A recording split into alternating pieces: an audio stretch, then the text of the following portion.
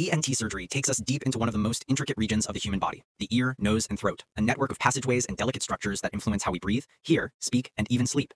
In this remarkable procedure, surgeons navigate through areas no lighter than a few millimeters, where precision is everything and every movement matters. The journey begins with the patient peacefully drifting under anesthesia, as advanced imaging guides the surgical team. With the first incision, the external anatomy gives way to a complex world beneath the nasal passages, sinuses, vibrating membranes of the ear, and the narrow, essential pathways of the throat.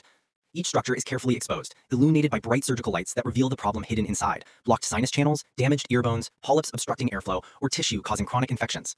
Tiny, high precision instruments begin their work. In sinus surgery, blocked passages are gently opened, restoring airflow that may have been restricted for years. In ear procedures, surgeons repair microscopic bones, restoring the clarity of sound.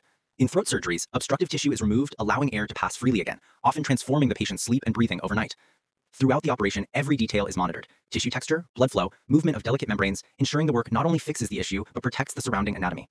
Slowly, the surgical field changes. Swelling reduces, air pathways open, structures realign. What was once restricted becomes functional again. As the surgery comes to an end, the internal environment looks entirely different, clearer, healthier, restored. The patient is moved to recovery where the benefits begin to unfold easier breathing, improved hearing, fewer infections, and a renewed sense of comfort they may not have felt in years.